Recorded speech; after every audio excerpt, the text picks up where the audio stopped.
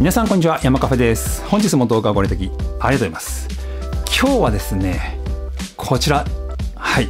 掃除機ロボットもここまで来たかと思わせるサイクロン吸引機付きのロボロックの最新型 S7 プラスになります。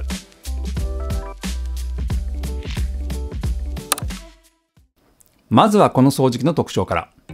ロボロック S7 プラス。吸い取ると拭き取るの性能が一段と強化。水拭き機能がさらに進化。サイクロン式と紙パック式が選べるゴミ収集方式。2500PA の吸引力と静かな動作音。賢いマッピング機能。ということで見ていきましょう、えー、このロボロック S7 プラスの特徴ですね、まあ、僕が主に尖ってるなと思う機能2つあります。まず1つ目が、ま、サイクロン式のねゴミ収集ドックというところともう1点が進化した水拭き機能ということですね。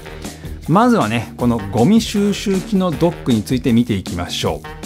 う。もうねこれ見た感じもうサイクロンですよねここね。はい。で今までのこのゴミ収集機能がついているものって、まあ、大体がね紙ゴミパック方式でした。でこれが今回サイクロン方式を採用しているということなんですね。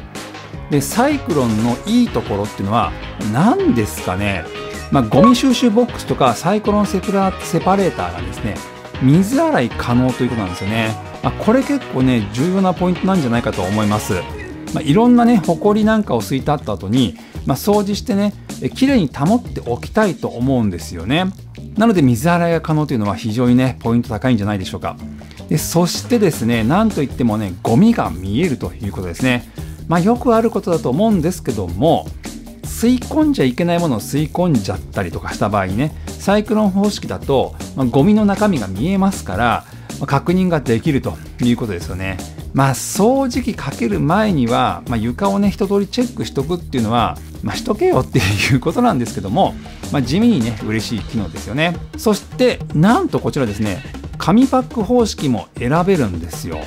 まあ、これはこれでね、嬉しいですよね。まあ、サイクロン方式から紙パック方式への変更っていうのはね、まあ、結構簡単です。あのサイクロンの部分を取り出して、それから付属のですね、アタッチメントをつけて、紙パックをセットすると。まあ、そういう感じなんですね。それでですね、紙パック方式の逆にいいところっていうのは何なのかと、まあ、考えたわけですね。まあ、そうすると、こうゴミを捨てるときに、まあ、ゴミが舞い散らないということですかね。まあ、あとはサイコロン方式ですと、まあ、ゴミが見えるっていうメリットの反面ですね、まあ、当たり前なんですけどもゴミが見えちゃいますから、まあ、掃除が終わった後にね放置しておくっていうことはちょっとしにくいんじゃないかなと思うわけですよ。掃除のたびにねゴミを捨てる必要があるかと思います。まあ、これをねどう判断するかということですね。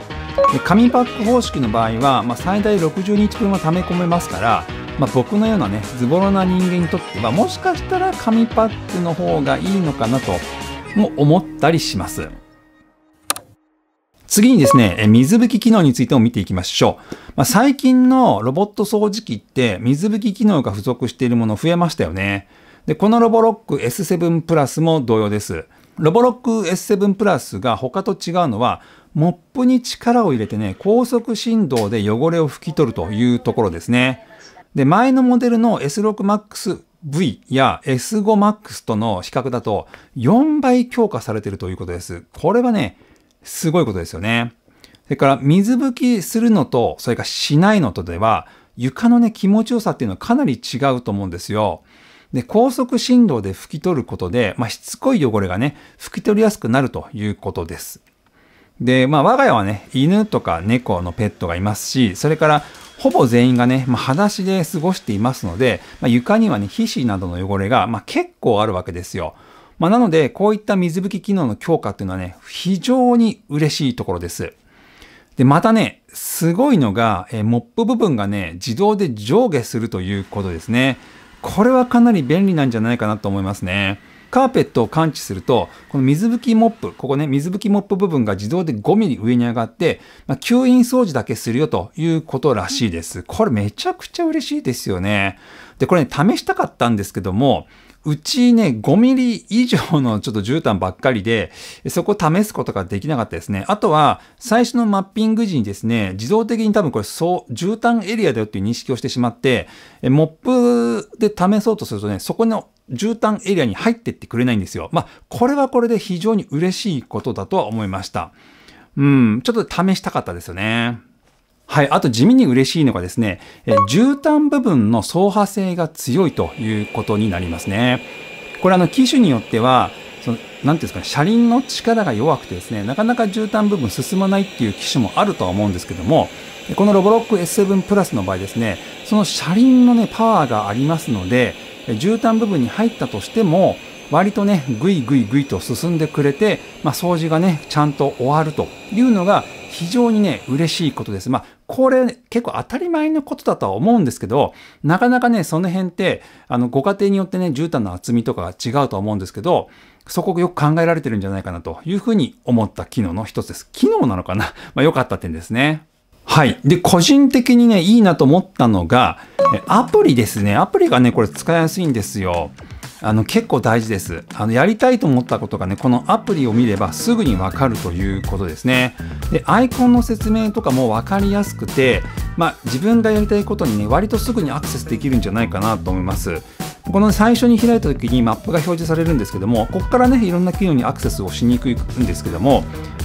多分ね、一発で、まあ一発難しかったとしても、割とすぐにたどり着けるんじゃないかなと思います。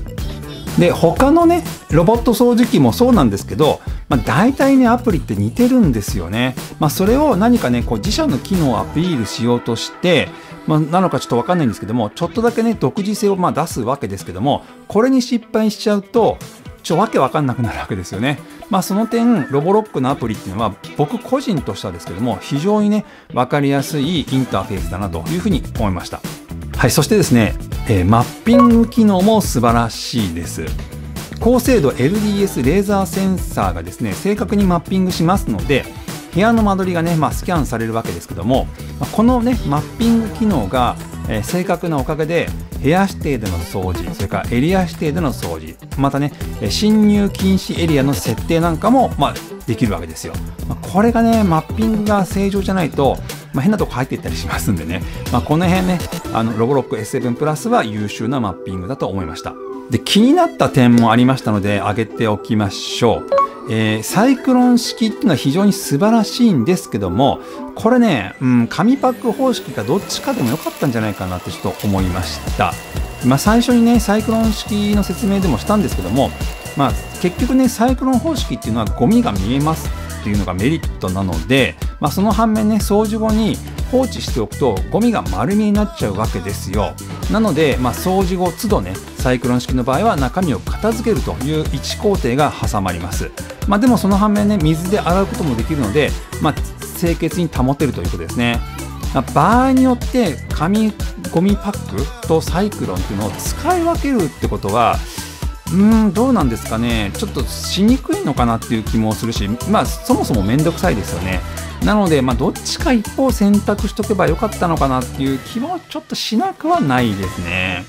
で次がですね、えー、二眼カメラ機能も装備してほしかったなとちょっと思っちゃいました。S6MAXV はなんと二眼カメラを装備していて、まあ、障害物があった時にカメラとね AI で認識して、まあ、避けることがあったんですよ。そういう機能がありました。これはね、やっぱりね、非常に良かったんですね。物体を検知して、まあ、これリモコンだよとか、例えばペットのうんちだよとかですね、いうのも避けてくれるわけですね。今回のこれ S7 プラスにはないです。まあ、V がついてないからかな。ちょっとわかんないですね。で、欲を言うとやっぱりね、二眼カメラ機能がついていれば、もう最強だったんではないかというふうに思うわけですね。はい、ということで、世代を重ねるごとに進化するロボット掃除機、ロボロックの最新型 S7 プラスのご紹介でした。いやもうね進化する場所とか機能がないんじゃないかと思う気もしますが、まあ、毎回ねびっくりするような機能を装備してきますよね。ロボット掃除機はやっぱりね日々の掃除の手間をかなり省いてくれますからまだ使ったことがない人はぜひね検討。またねもうすでにロボット掃除機使ってるよっていう方もですね、まあ、強化された水拭き機能とかサイクロン式できれいに保つっていうことをこのねロボロック S7 プラスでまあ、あの体験してみたらいいんじゃないかなというふうに思います。はい、ということでね、よろしければ高評価とチャンネル登録の方お願いします。またね、コメントなんかもぜひ待ってますので、えー書き込んでいただけると嬉しいです。それでは次の動画でお会いしましょう。さよなら。